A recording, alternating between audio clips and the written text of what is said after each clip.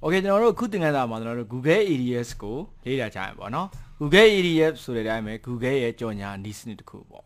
ဥပမာကျွန်တော်တို့ Google မှာကျွန်တော်တို့ကဟိုဟာတစ်ခုခုကိုရှာလိုက်တယ်နမူနာအနေနဲ့ဒီမှာ dance class ဆိုရှာလိုက်တယ်အဲ့မှာ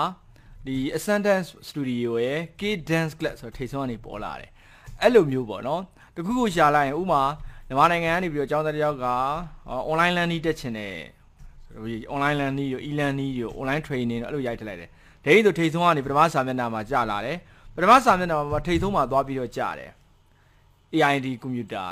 အဲ့ဒါတွေကဘယ်လိုလုပ်ထားတာလဲဆိုတော့ Google ADS ကိုကျွန်တော်တို့ကတုံထားတာပေါ့နော် Google ADS ကိုအသုံးပြုပြီးတော့ကိုယ့်ရဲ့ business ကိုကြီးထွားအောင်လုပ်လို့ရတယ်။ဥပမာတော့ internet ပေါ်မှာဒီ Google ကနေစက်အင်ဂျင်ကနေရှာတဲ့အခါမှာရှာတဲ့သူကအဲဒီပထမစာမျက်နှာလောက်ပဲကြည့်တယ်။ Google ကပြပြီးတယ်10မျက်နှာလောက်ပြပြီးတယ်။အဲ့ဒါမဲ့တော့ mouse နဲ့တော်တော်ပြတယ်အဲ့လောက်သူကစိတ်မရှိဘူး။ ပထမဆုံးစာမျက်နှာ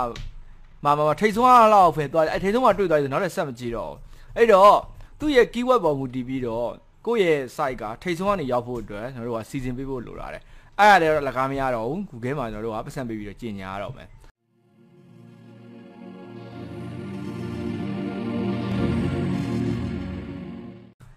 အဲ့ဒီကြီးညာနည်းစနစ်ကိုကျွန်တော်တို့ဒီသင်ခန်းစာတဲ့ဒီခန်းမှာတော့လေ့လာကြမှာပေါ့နော်ဒါနမူနာအနေနဲ့ဆိုရင်ဒီမှာ dance class တစ်ခုဟာ ကြီးညာထားတဲ့ဟာပေါ့နော်အဲ့တော့ပြီးတော့အဲ့လိုမျိုးဒီလိုတကူရှာဖွေခြင်းအပြင်ကိုယ်တိုင်ဘက်တွေတပန်းတာသွားတယ်ဗောနော်ကိုယ့်ရဲ့ product ကကိုယ့်ရဲ့ service ကထိတ်ဆုံးကနေတွေ့တာဖြစ်တဲ့အတွက်လူတွေကိုကိုယ့်ဟာကိုသုံးဖို့ပထမဆုံးကန်လန်းသလိုဖြစ်သွားတယ်ဗောနော်အဲ့တော့ပြီးတော့အဲ့ဒီကနေမှကိုယ်မှာ website ရှိတယ်တခုကတော့ website ရှိလို့ဒီ set engine လောက်ထားတာဟုတ်အဲ့ဒါကိုကျွန်တော်တို့က ဒီ SEO တို့ SEM လို့ခေါ်တာဗော set engine marketing set engine optimization လို့ဗောနော်အဲ့လိုမျိုးရှာတဲ့အောင်ထိတ်ဆုံးမှာတွေ့အောင်အဲ့ကြရင်ဘာဖြစ်လို့ကိုယ့် website ကိုလူတွေကပို့ပြီးတော့လာတယ်ကိုယ့် website ကိုအရင်တွေ့တာဟုတ်အဲ့ဒီမှာကိုယ့် website ကအယောင်းအယောင်းတို့ booking တို့ဒါတော့ mailing list တွေတို့အဲ့ဒီဆိုရင်ကိုကအများကြီးရမှာဗောနော်နောက်တစ်ခုကဒီ Google Maps တွေနဲ့ပါချိတ်ထားတယ်ဆိုရင်ကိုယ့်ရဲ့ location ဒီနေရာကိုကိုကိုယ့်ရဲ့ store တိုင်ရှိတဲ့နေရာပေါ့နော်ကိုယ့်ရဲ့လုပ်ငန်းရှိတဲ့နေရာကိုလူတွေ customer တွေအများကြီးလာတယ်အဲ့ဒီအတွက် increase store business လည်းဖြစ်တယ် အဲ့ဒီမှာဖုန်းနံပါတ်တွေတစ်ခါတည်းချိတ်ထားဖြစ်တဲ့အတွက်ကိုယ့်ရဲ့လုပ်ငန်းကိုဖုန်းတွေဖုန်း service တွေခေါ်ပြီးတော့အဲကိုယ့်ရဲ့ order တွေ product တွေကိုမှာကြတာတွေမှာယူတာတွေပို့ပြီးတော့များလာမယ်ပေါ့နော်နောက်တစ်ခုကပတ်စံကြော်ညာပြီဆိုမှတော့ပတ်စံသုံးရတော့မယ်ဒီကတော့ဒေါ်လာပေါ့နော်မြန်မာနိုင်ငံကနေဆိုတော့ master card တွေ visa card တွေကမ္ဘောဇတွေရာဝတီတွေအဲ့ဒီကနေလွတ်လို့ရတယ်အဲ့ဒီနဲ့ကတ်နဲ့ချိတ်ထားမယ်ချိတ်ထားပြီးတော့အဲ့လိုပဲ website တွေဖြစ်ဖြစ် keyword စကားလုံးတွေဖြစ်ဖြစ်အဲ့ဒါတွေကိုကျွန်တော်တို့ကဒီမှာကြော်ညာမယ်ကြော်ညာတဲ့နေရာမှာ ငွေကြေးဖြစ်တဲ့အတွက်ငွေကြေးရ limit ဖြစ်တယ်အဲ့တော့ကျွန်တော် adjust လုပ်လို့ရမယ်ဒီရဲ့ campaign တွေကိုကျွန်တော်တို့ကြည့်မယ်ကောင်းလားကောင်းတဲ့ထက်တော့မကောင်းမကောင်းဘူးဆိုရှော့မယ်ရက်တဲ့ campaign တွေရက်မယ် okay အဲ့ဒါတွေကိုဟိုဟာ anytime anywhere ကနေလုပ်လို့ရတယ် okay နော်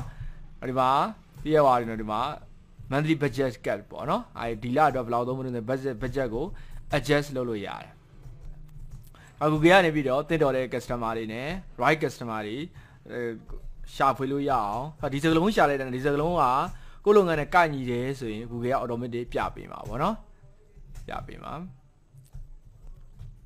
အကယ်ရစရာဒီ Google ADS ကိုစပြီးတော့သုံးတော့မယ်ဒီမှာ step now ကိုနှိပ်လို့ရတယ်ဒီမှာ step now ကိုနှိပ်လို့ရတယ်ပြီးရင်ကိုယ့်ရဲ့ Gmail account တစ်ခုနဲ့ sign in ဝင်ရမယ်ပေါ့နော်အဲတော့တို့ Google ADS ပါအဲ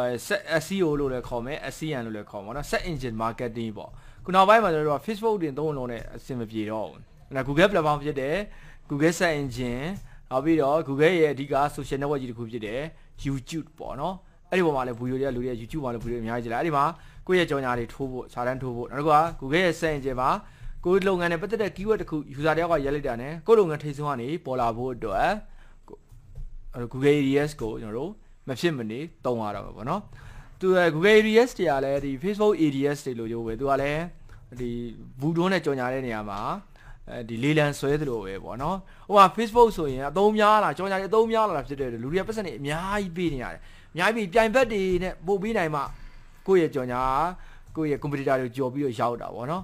Google မှာတော့ဒီ SEO SEM ဆိုညီမညီမသိခင်မစားသေးဘူးဘူးမှသိမလုပ်သေးဘူးလုပ်တဲ့သူမရှိမဟုတ်ရှိတယ်နဲတယ်တကယ် brand ကြီးတွေလောက်ပဲလုပ်တယ်ဥမာ ဟို Telenor Order Roo တို့အဲ့လိုမျိုး brand ကြီးတွေနော် Coca-Cola တို့ KFC တို့အဲ့လိုမျိုးတွေတကယ် brand ကြီးတွေလောက်ပဲလွတ်တယ်။တာမန်ဒီ SME level လောက်တရားဒီမလောက်ကြတာများတယ်။ဘာလို့တော့ဆိုလဲဆိုရင်ဒီ SEO SEM သုံးမှုဆိုတာနေတော့ကိုမှ website တခုလိုရှိရမယ်။ဒီမှာဒီမှာ website မရှိတဲ့လုပ်ငန်းတွေအများကြီးအများကြီးပဲ။ website မှာမရှိမှလည်း SEO SEM သုံးနေစရာမလိုတော့ဘူးသုံးဖို့လည်းမလိုတော့ဘူး။အဲ့ဒီအတွက်လည်း digital platform ပေါ်မှာသူတို့ customer တွေရဖို့လည်းမလွယ်တော့အခုချိန်မှာအသုံးနေတာဖြစ်တယ်တော့ကိုကခုကတည်းကစပြီးသုံးထားမယ်။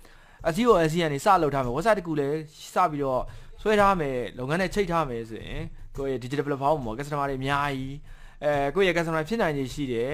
အဲဒီ prospect တွေ lead တွေကိုဒီချိန်မှာကျွန်တော်တို့အများကြီးစုထားလို့ရတယ် email list တွေကိုပေါ့နော်ခုကတော့အားလုံးက Facebook ကတော့သုံးတယ် Facebook မှာဟိုရင်းနှီးမြှုပ်နေကြတယ်ဒါပေမဲ့ဒါဒီ kit တိုင်း kit တိုင်းမှာပြောင်းလဲဆိုတာအမြဲတမ်းရှိတယ်အမြဲတမ်း Facebook ကြီးကဒီလိုကြီးအောင်မြင်နေမယ်လို့ကျွန်တော်ပြောလို့မရဘူးကျွန်တော်တို့သူ့ရဲ့ရှေ့မှာကျွန်တော်တို့ MySpace ဆိုတဲ့ social media network တစ်ခုလည်းရှိတယ်အဲ့ဒါကြီးလည်းပျောက်ထွက်သွားတယ် ဘယ်နော်အဲ့တော့ကိုကဒီဒီဟိုမှာဒီ social media social media marketing မှာ site တစ်ခုတည်းတင်တို့တို့ကဦးစားပေးနေလို့မရဘူး Facebook တစ်ခုတည်းတင်သွားပြီးရင်းနှီးမြှုပ်နှံနေလို့မရဘူးအဲ့ Facebook ကြီးတစ်ခုဖြစ်သွားရင်ကွာတစ်ဖက်ကနေ backend ရှိနေရမယ်အနည်းဆုံးတော့ကိုယ့်ရဲ့ website ကိုထိုင်ထားပြီးတော့ channel social media တွေတွားပြီးတော့သုံးတယ် website ရှိပြီဆိုရင်ကိုယ့် website ကိုလူတွေအများကြီးလာဖို့အတွက် Facebook ဟို Google ကနေရှာရင်ကိုကပေါ်လာဖို့တက်လာဖို့အတွက် အဲ Zoe ကလေးကဒီ SEO SEM တွေဒီ Google ADS တွေ Google AdWords တွေနဲ့ချိတ်ဆက်ပြီးတော့တော့ setting တွေချထားတာပဲโอเคနော်အဲ့ဒါဆိုကျွန်တော်တို့ Google ADS ဘာကြောင့် social media marketing မှာဘာကြောင့်အရေးပါတော့ဘာကြောင့်သုံးသင့်တာတော့အဲ့ဒါ Facebook တခုတည်းပဲအာမကိုးသင့်တာအောင်ဆိုတော့ကျွန်တော်တို့ဘောပေါက်သွားတယ်โอเคကျွန်တော်ထပ်သင်ခန်းစာမှာ Google ADS ကို step by step တစ်ဆင့်ချင်းစီလောက်တာအောင်ကျွန်တော်လေ့လာကြမယ်โอเค